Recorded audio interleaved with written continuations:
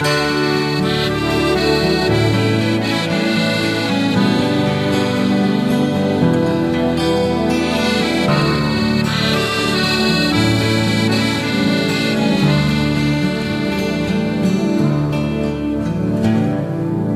was born under the star. Never meant to journey far from all the faces and the place that I called home.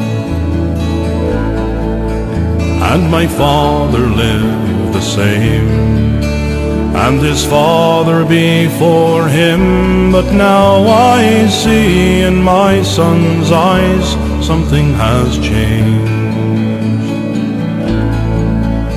And the smoke, it has stopped rising from the chimney. And the light no longer shines over the door. Last year I lent a hand to haul the boats onto the land. They've been lying there for 19 months or more. And I wonder, will they lie there evermore? Wasn't many years ago that the men round here would go out in their skiffs and haul their traps out on the bay. And then shortly they return, loaded down from stem to stern, and weigh off the fish, then store the gear away.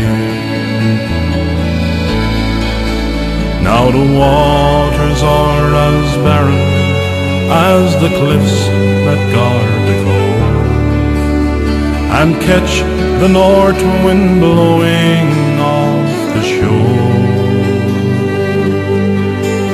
And I wonder how an ocean turns as lifeless as a stone. And I wonder, can the sea revive once more? And I wonder, will they lie there evermore?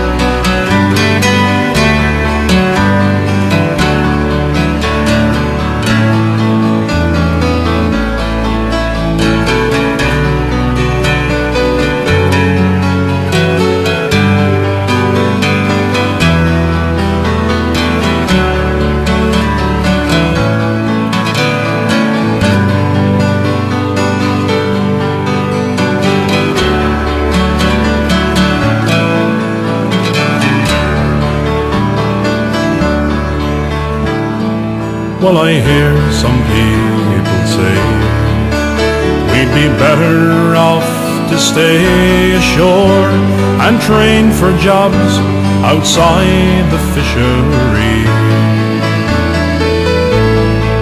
Now, wouldn't I look like a fool to go traipsing off to school after 40 years of living off the sea.